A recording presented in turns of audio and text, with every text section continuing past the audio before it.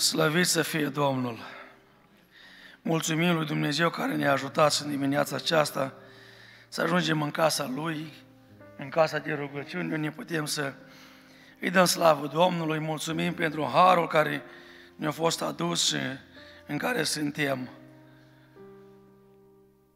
Cântarea a spus că haina e pătată,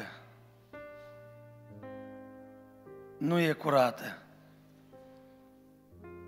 Cântarea aceasta mi-a fost dragă de când am auzit-o de copil și mi este dragă tot timpul și dacă am cântat-o în fiecare zi lucrul acesta sau să o punem pe telefonul nostru în fiecare dimineață când ne trezim să o vedem și dacă nu o cânti, măcar să o citești.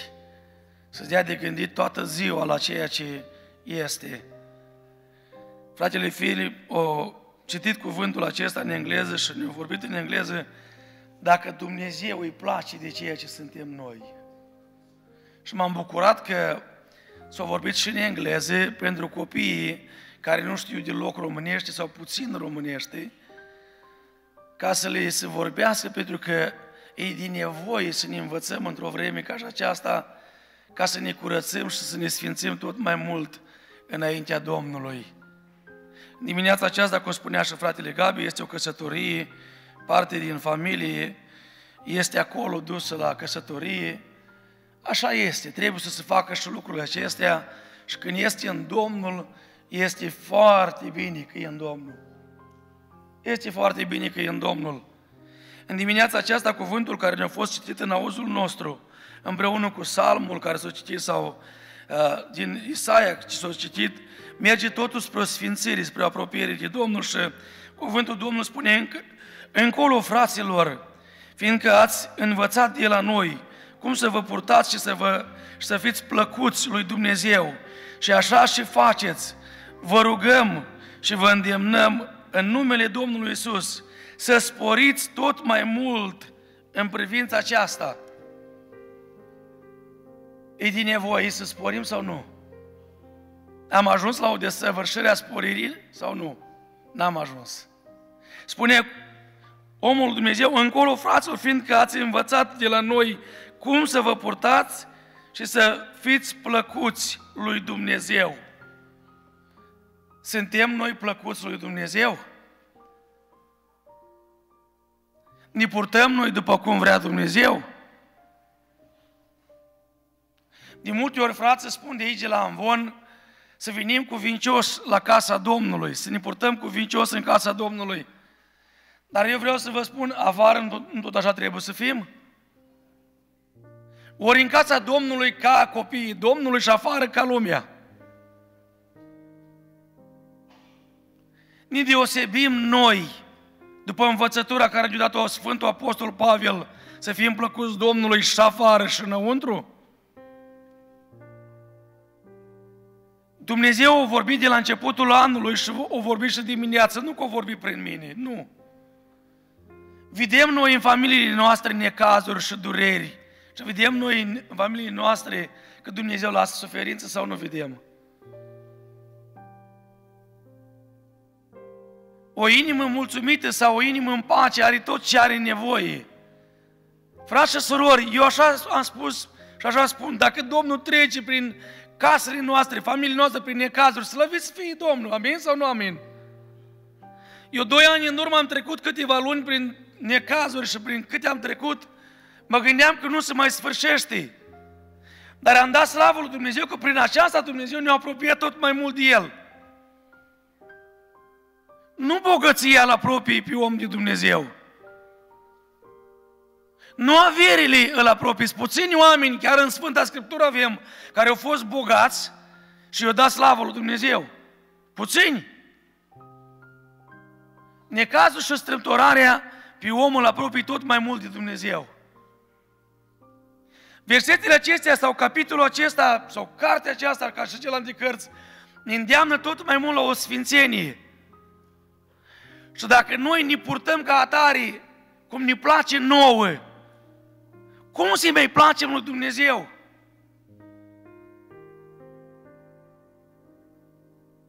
Mi-aduc aminte că să predica când eram tânăr și fratele Gabi și frații în vârstă sau bătrâni știu mai bine lucrurile acestea. Era o rușine să vii necuvincios la casa lui Dumnezeu. Era o rușine și nu te puneau frață să slujești dacă nu erai îmbrăcat cuvincios. Dacă vinea cineva străin, am fost la Oșorhei, la Oradea, fratele Gabi știi foarte bine lucrul ăsta, acum, în vremea asta. Și dacă trece un caiet așa printre frați, și dacă fratele păstor se uită la caiet și cunoaște pe toți, știi ce face. Dacă apare un nume nou, zice sora sau fratele cinei, să se ridice în picioare. Și datorită faptului cum ești îmbrăcată sau îmbrăcat, spune stai jos. Și dacă nu ești îmbrăcată cuvincios sau îmbrăcat cuvincios, nici n-ai ce căuta să te pun la cuvânt. Dacă nu vă vine crede, duceți-vă că există biserica acum. Și în Oradea. Și sunt biserici oriunde în România. Să știe asta. Am fost acolo când am fost invitat, m-am dus cu teamă, cu frică. Am zis, băi, e o biserică de sfinți. Și acolo cum, cumva te cercetează mai tare ca oriunde. Frașă și surori, cuvântul Domnului ne spune așa, știți în adevăr ce învățături v-am dat prin Domnul Isus. Voia lui Dumnezeu este sfințirea voastră, să vă feriți de curvie.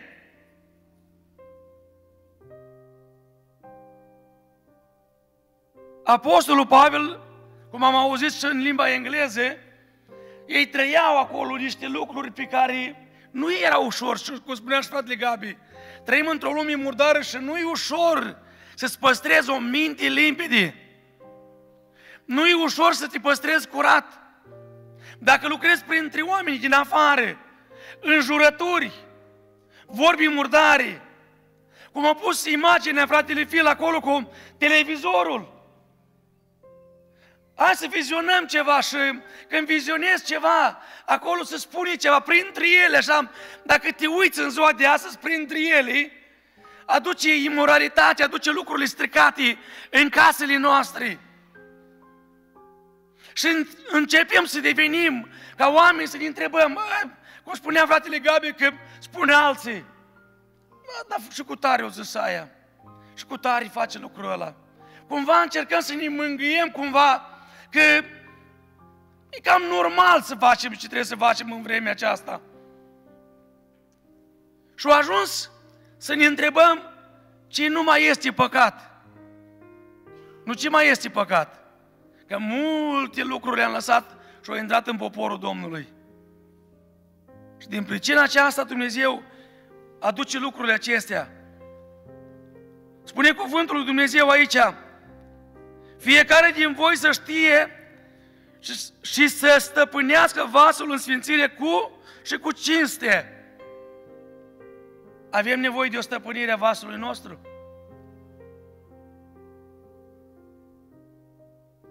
Frați și surori, sunt multe probleme în Biserica lui Dumnezeu, pretutindeni.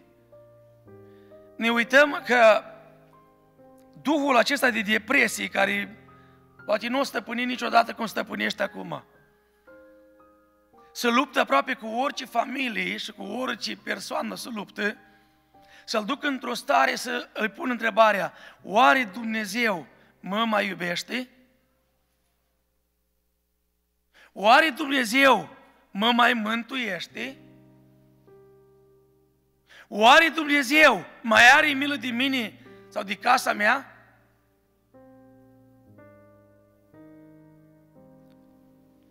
Cuvântul Dumnezeu spune aici să ne ferim de curvie. Cu o vreme în urmă,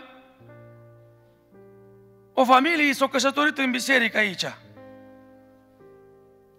După căsătoria lor, au trecut timp și ani, i-am întrebat ce fac, cum fac. S-au îndepărtat de casa lui Dumnezeu și s-au început să vină tot mai rar la biserică. Și până la un moment dat nu mai ajuns, că nu le mai ajungea banii, nu mai, nu mai vin la biserică. În nenumărate rânduri m-am întâlnit cu el.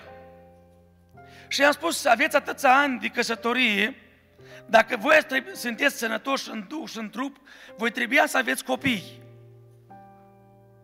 Printre care el mi-a spus în, în felul următor, auzi, eu nu vreau să aduc copiii pe lume ca să se ducă în iazul de foc. Eu nu vreau să aduc să sufăr pentru ei. Că ce pot să spună, dacă Dumnezeu este Dumnezeu, de ce atâția copii sunt orfani în lumea asta? De ce atâția părinți mor? De ce, de ce atâția copii n-au de ce, ce mânca? De ce atâția început, dacă Dumnezeu este Dumnezeu, să facă Dumnezeu ceva?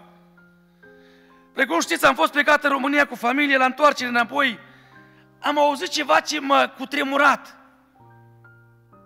Așa de bine o știu să-și țină soția lângă el și să fie închegați și-o pierdut nevasta. Și din câte am auzit, nevasta a făcut un copil cu altul. Deci el nu a fost în stare să aibă un copil cu nevasta lui, dar ei au fost în stare să și-o divorțat, să sunt despărțiți. Întrebarea mea este, care-i voia al Dumnezeu? Dumnezeu a rânduit pe fața pământului telefoanele.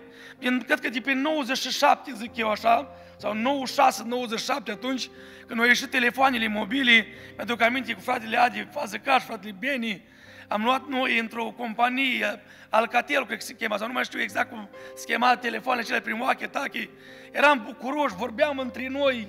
Era ceva parcă nou pentru noi. Nici de cum tehnologia care e în ziua de astăzi.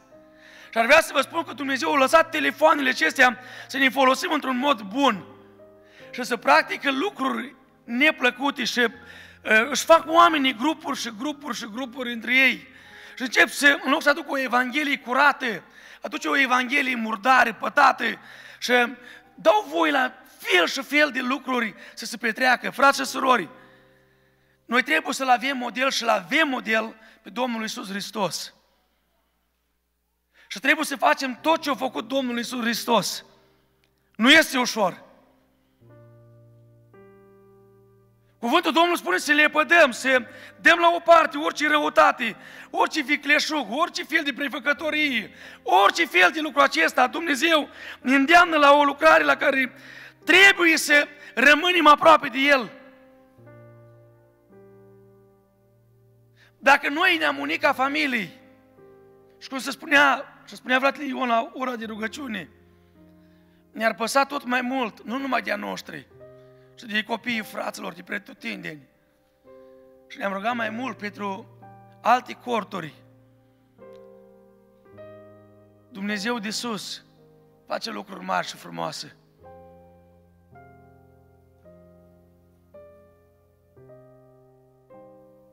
Spune cuvântul Domnului în versetul 6, nimeni să nu fie cu vicleșug și cu nedreptate în treburi față de fratele său, pentru că Domnul privește toate aceste lucruri, pedepsește toate aceste lucruri, după cum v-am spus și v-am adeverit, sau v-am arătat, sau v-am dovedit. Frați și surori, suntem oameni. Dacă am umblat odată cu vicleșug față de alții, Dumnezeu ăsta nepăsător față de noi sau ne-a pedepsit? Dumnezeu se uită la noi. Și am vrea ca în dimineața aceasta să ne uităm la versetele acestea și spune aici, nimeni să nu fie cu vicleșug. Nimeni. Știți că de multe ori rugăciunile noastre sunt împedicate înaintea lui Dumnezeu. Venim la biserică, ne rugăm și ne întrebăm de ce Domnul nu ne-a ascultat rugăciunea. Pentru că umblăm cu lucruri ascunse unii față de alții.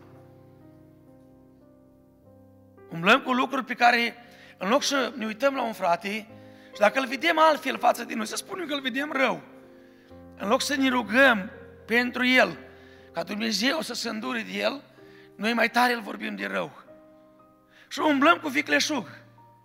Umblăm cu lucruri pe care Dumnezeu nu, nu ne cheamă în felul acesta, ci ne cheamă să fim aproape de El, aproape de Dumnezeu. Venind din, despre Pașcan, despre Moldova, spre București, fiindcă am fost mai mulți, am mai fost și încă doi tineri din, cu noi din America, o trebuie să mergem cu două, cu două microbuzuri, cum se spune ei, cu două venuri. Și neavând cineva să mi întoarcă vienul înapoi, am luat pe un frate din Pașcani, socrul fratele meu, și pe drum, având câteva ore de mers de la Pașcan la București, am discutat multe lucruri. Și m-am gândit eu așa în mintea mea, după ce am vorbit, noi oamenii nu uităm în biserica noastră, ne cunoaștem ca membri mai aproape sau mai puțini. Și ne uităm la anumiți oameni și poate îi disprețuiești. Sau dacă nu îi disprețuiești, te uiți la el, bă, nu tare frate, și atât. Dar nu știi cât rod poate, poate să aducă omul ăsta sau sora asta în casa lui Dumnezeu. Noi nu știm. Fratele acesta am vorbit de multe ori cu el, am fost o dată într-o călătorie în slujire cu el și mi s-a părut un om așa, poate foarte simplu, un om care și-a crescut copiii în voia lui Dumnezeu. Și îmi povestea el una dintre lucrurile la care am zis cu vicleșugul acesta, cum să fim înaintea lui Dumnezeu. S-a unit cu un frate din altă, în altă localitate și fac evangelizări în sate unde nu există un pocăit, nu intră picior de pocăit. Ei se duc în satele astea și au deja câteva biserici deschise, nu le-au rupt. O deschis biserici din nimic, din oameni simpli care erau acolo și nu știau de Dumnezeu. Și spunea el că într-una din biserici, într-una din localități s-a dus, era o localitate de frați țigani, frați romi, de oameni de felul acesta. Dar spunea că localitatea aceasta nu intra oricum oricine acolo.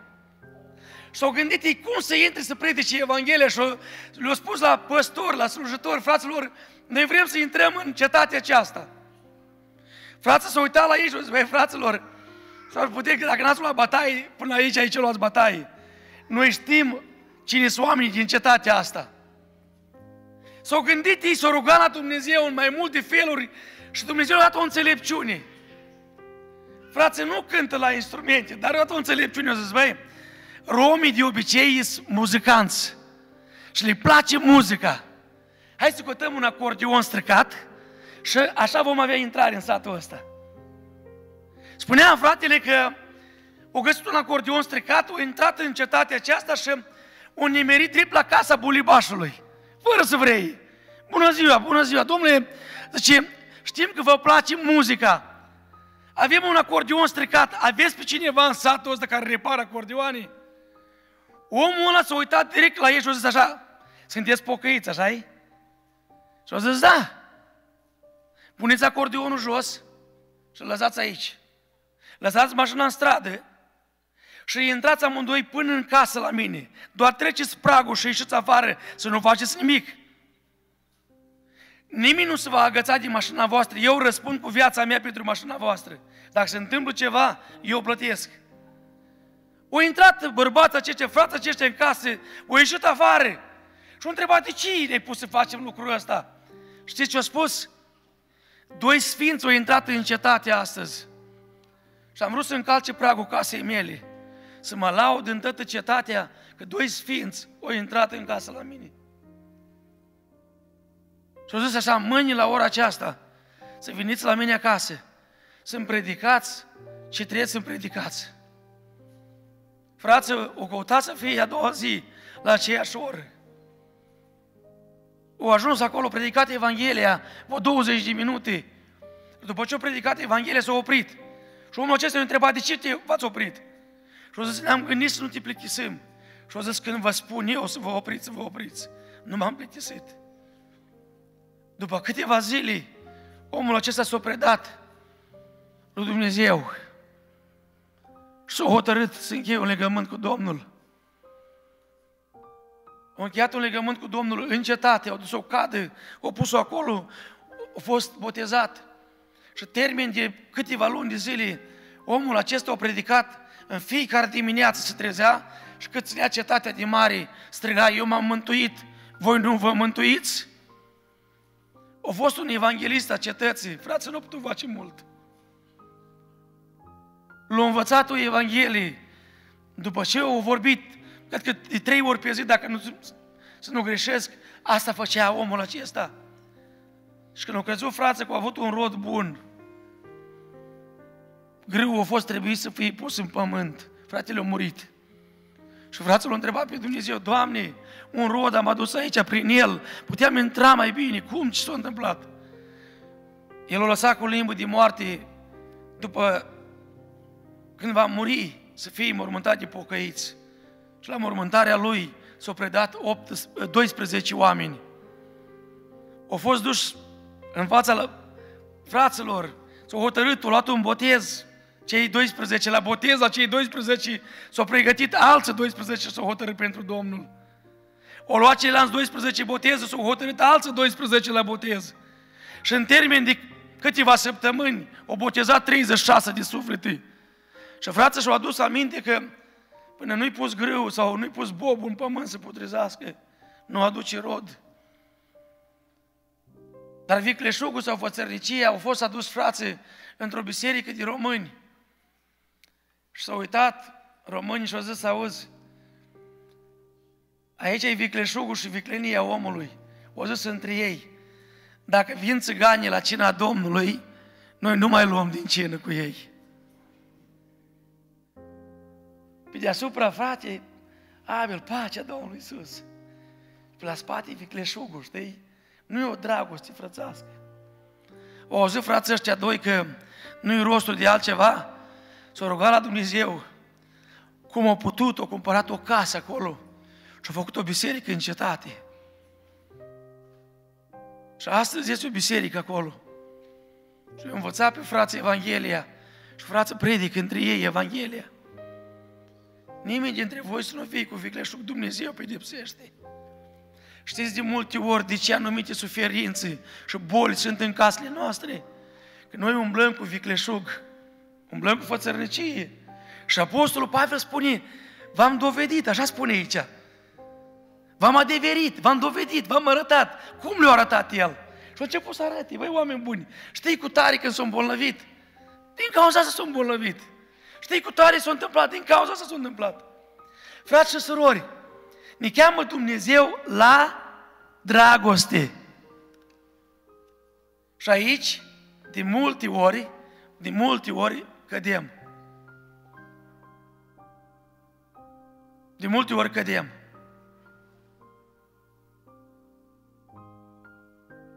M-am gândit zilele acestea, zilele acestea am împlinit 46 de ani. Mulțumesc! 26 de ani de America. Când am venit în America, mă uitam azi dimineața la fratele Bud. Fratele Bud era un bărbat tânăr pe atunci. Plin de putere. Mă duceam la șap la el acolo, la, când făcea mașini, era în stare să pui mâna pe botul la mașină, să o ridice fără nimic altceva, să o dea la o parte. Așa de tărie era. Și erau mulți alți frați între noi care slujau aici. Și eram un tinerel undeva printre bănci. Și astăzi cei ce erau nu mai sunt. Au plecat la cele veșnice că Domnul i-a chemat acasă. Fii de bătrânețe, fii cu vrut Domnul. Și de 26 de ani de când sunt aici în biserica aceasta, se vorbește de dragoste și parcă dragoste nu avem. Se vorbește de unitate și ne dezbinem tot mai mult.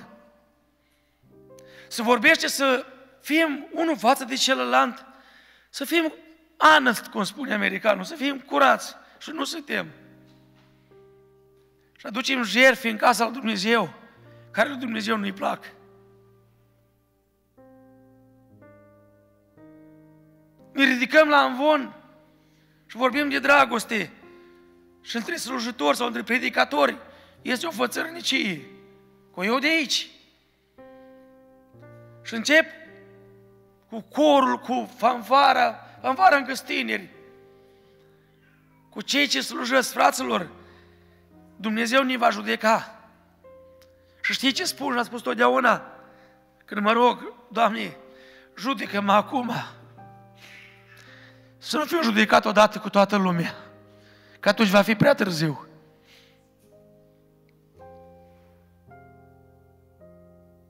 De aceea nu avem unitate în biserică. Dacă ne luptăm fiecare în dreptul nostru, spunea un om odată, Doamne, eu am păcătuit. Dacă noi am spune lucrul acesta, nu fratele Gabi, nu fratele X, nu sora, Doamne, eu și fiecare să îndrepte în dreptul Doamne, eu Vreau să mă pocăiesc, vreau. Dumnezeu lucrează. Vă spuneam și în rândurile trecute, frați și surori, părinți dragi, știți cu câte păcate și cu câte duhuri să luptă copiii noștri?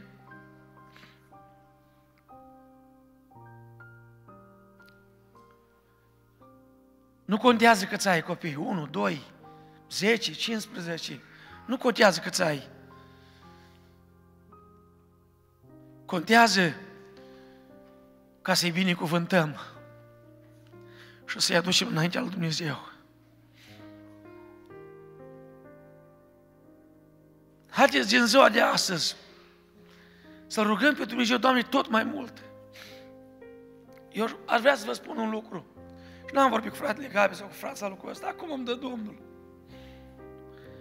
Dumnezeu ne-a dat o altă clădire. Un alt loc să-L proslăvim. V-am spus de atâtea ori, ca om, aș vrea să stau în biserica asta până îmbătrânesc. Și copiii mei la rând aici. Că stau numai șapte minute mai departe de biserica asta. Nu stau mai mult. Dar îi spuneam la noi în Todirești, la noi în Todirești, spuneam în comuna de unde sunt. M-am dus anul acesta și nu au parcare, au câteva pământuri în jur a unor oameni și parchează pe drum. Și le-am pus o întrebare. Voi cu mașinile, cum ați parcat aici, îl cinstiți pe Dumnezeu sau i aduceți o blambă lui Dumnezeu? Când au oamenii cum streacă pe drum, din privință câte mașini, de multe aveți, și ați parcat cum nu trebuie și în jurul oamenii. Întrebarea mea este tot pentru noi aici. De cine din jur îl preamăresc pe Domnul că este o biserică aici? Sau îl înjură pe Dumnezeu din cauza noastră? Că nu mai avem loc de parcare. E, frate, ce e o duminică? Nu. Nu. Dacă Dumnezeu a rânduit o altă clădire, și nu spun asta să înduplec pe nimeni, fiecare va hotărâ în mintea lui ce va face. O hotărât-o pentru că El a vrut așa și noi ne-am rugat așa. Nu știu ce va fi și acolo, în cealaltă clădire, dar știu un lucru, că dacă îl vom sluji pe Dumnezeu, Dumnezeu va lucra. Să nu umblăm cu vicleșug unii față de alții. M-am gândit eu așa în mintea mea. Eu am fost unul care aș fi putut vota că nu mă mut de aici afară. Soția chiar mi-a spus să zic, eu chiar nici nu mi-e drag să mă duc dincolo. Pentru că e aproape pentru noi aici. Dar ca orice om gospodar, dacă nu încapi într-o casă, nu-și suprapune copiii într-o cameră să doarmă unul peste altul. Ori se gândește la un adaus, un addition, ori la o mutare într-o altă parte. Și așa ați făcut-o toți. nu e așa? Eu când am venit, majoritatea v-am găsit în Detroit. Și era St. Lawrence, strada românilor, aș putea spune. Era casă lângă casă, două sau trei case, toată strada nu era de români. De ce v-ați mutat? Mai este două, trei familii prin Detroit care au mai rămas. V-ați mutat că n-ați avut ceva, ce? Sau am vrut mai larg, mai frumos? Știți ce îmi pare rău? Că umblăm cu vicleșug unii față de alții. Doamne, ai milă din noi. Căci Dumnezeu ne-a chemat, auzi, nu ne-a chemat la necurăție, ci la sfințire. Dumnezeu nu ne-a chemat la necurățire, ci la sfințire. Avem noi nevoie de sfințire, frați și surori? Avem nevoie. Dacă stăm și ne uităm să ne judecăm unii pe alții, cum se spunea și la ora de rugăciune, ajungem niște oameni judecători, nedrepți, nestatornici, neînfrânați, nerăbdători, neîngăduitori.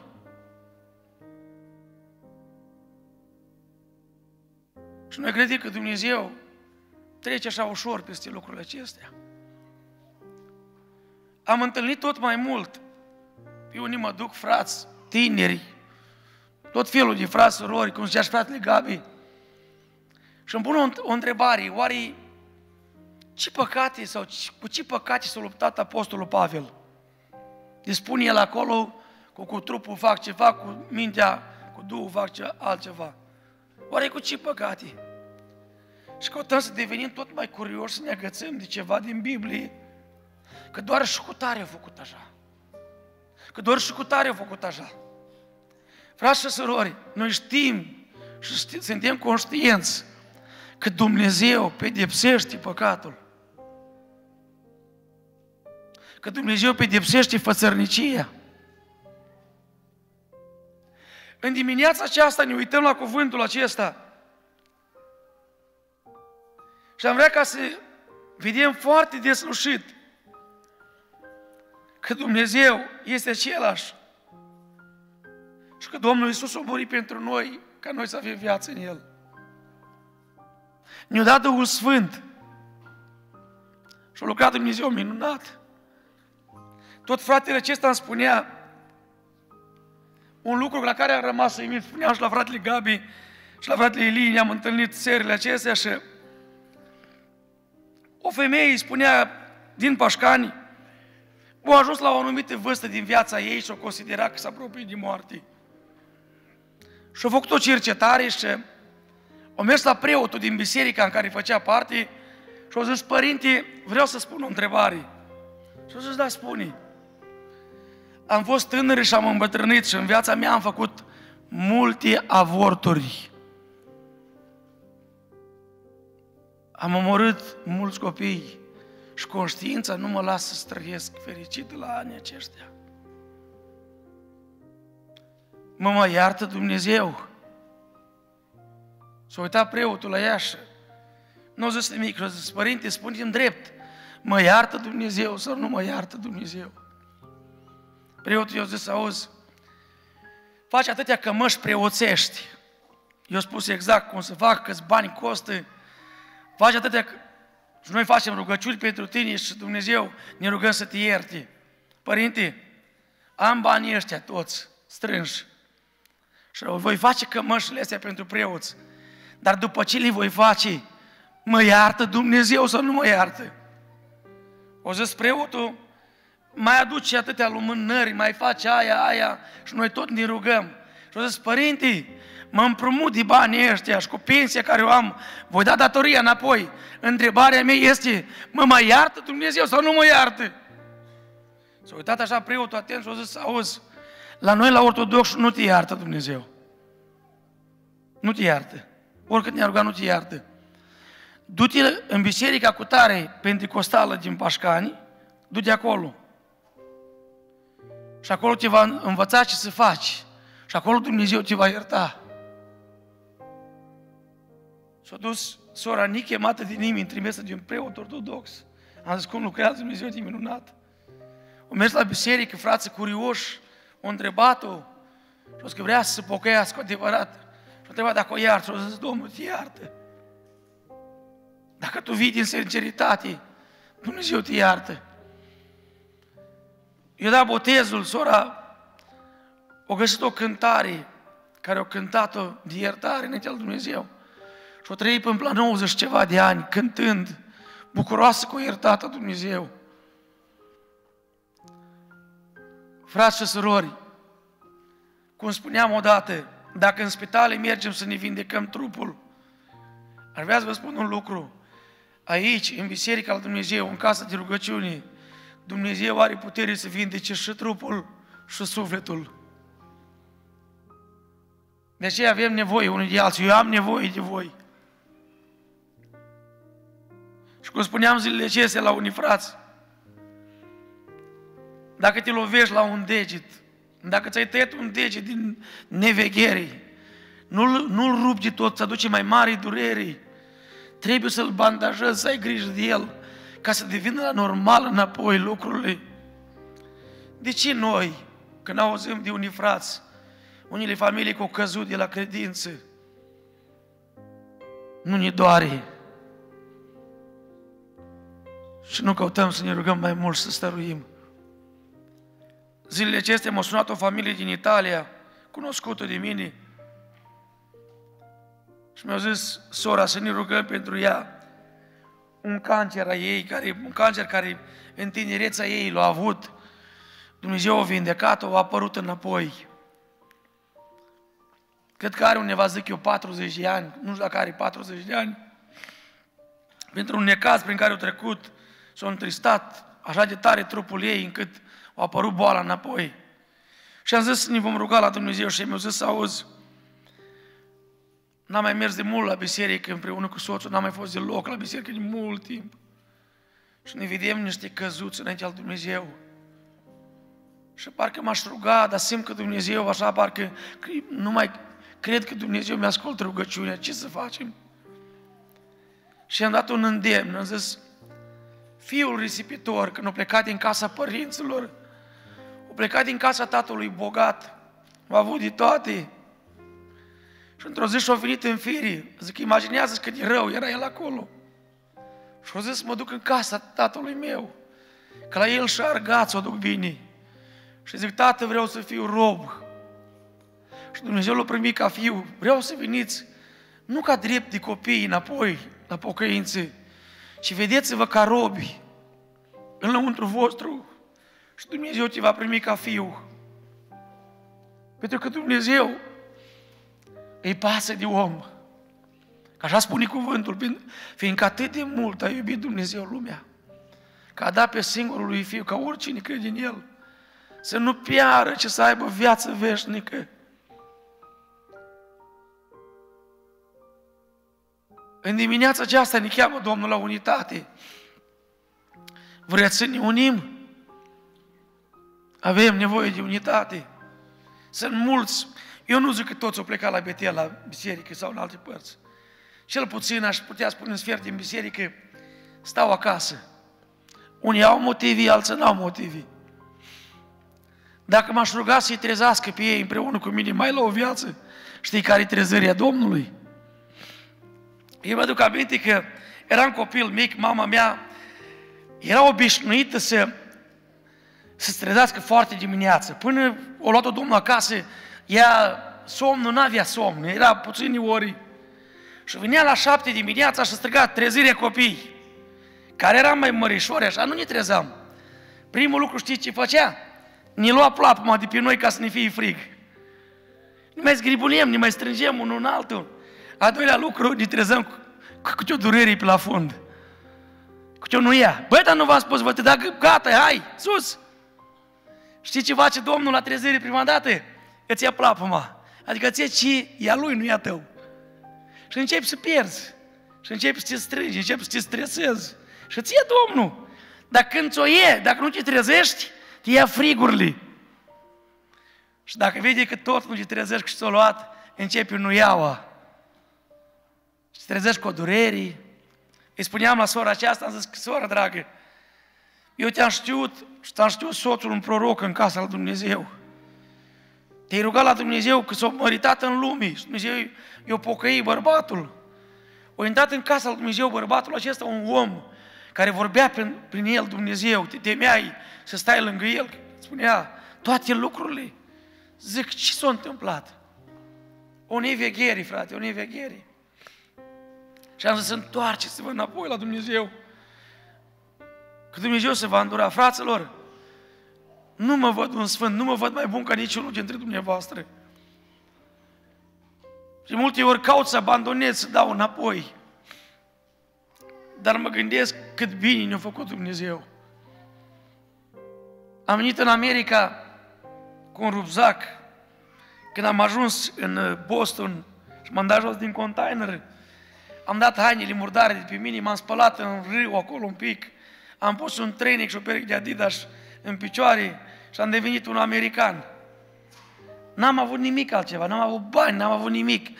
Dacă cineva îmi cerea ceva, nimic, zero, zero bani am avut cu mine. Nu știam, era un viitor nou. Aveam familia Luca, familia Băriac, care erau de la noi din sat, cumva mă agațam de ei un pic, băi, vin în America. Și mă uit la ora actuală, Dumnezeu m-a binecuvântat cu o soție, cu 11 copii, o casă plătită afară, mașini plătite afară, copii sănătoși, cu nevastă credincioasă. Nu le-am meritat. Mă uitam la balcon și văd doi frați acolo care am fost prieteni aici în, când m-am împrietenit pe aia cu ei. Mă uitam acum, îmbătrânim. Dumnezeu când promite un lucru, noi uităm, dar El nu uită. Știți ce m-am întrebat dimineața când am venit cuvântul? Parcă anul acesta merge prea bine. Și am zis, Doamne, merge bine pentru că vrei Tu sau mă încerci? Că până în decembrie mai este mult. Mai este mult. Până mâine, până astăzi, cum spunea fratele Ion, până să mă dau jos mai este mult. Când s-a rugat fratele Bejușcă, am văzut o vedenie, în timpul ce te rugai, o pătură albă o venit de sus și s-a așezat peste toată proprietatea unui locuiești și peste case. N-am înțeles vedenia aceasta, dar între timp ce ne rugam aici la rugăciune, o voce o zis în felul următor, spune familia acestea că ce am început îmi duc la bun sfârșit. Și sfârșitul nu este departe. Spune să mai răbdi un pic. Că ce am început, duc la bun sfârșit. Și m-am gândit așa, vorbind dimineața cu fratele Bejușcă, nu e ușor să primești o binecuvântare și binecuvântarea să nu fie întreagă. Și o soră care putea să fie la biserică și mă gândesc că vrea să fie la biserică, stă cu această binecuvântare acasă și are grijă de ea. Întreb eu ca om, cât am postit pentru sora aceasta și cât m-am rugat. Nu devenim noi fățarnici. Venim și pozăm bine. Și când încolo suntem ce suntem, Dumnezeu are nevoie ca noi să ne ridicăm și să facem Sfântă voia Lui. Și ca ei, ca familia aceasta sunt alții. Doamne, dă-ne putere să ne trezim noi. Ca să nu vină timpul să ne iei plapăma. Să nu vină timpul să folosești nuiaua. Mult este de învățat din Scriptură. Să fim cuvincioși. Cum spuneam și la soții și la copii acasă. Cum suntem la biserică să fim și în, în lumea aceasta. Să fim și în casele noastre. Doamne, ajută-ne. Amin.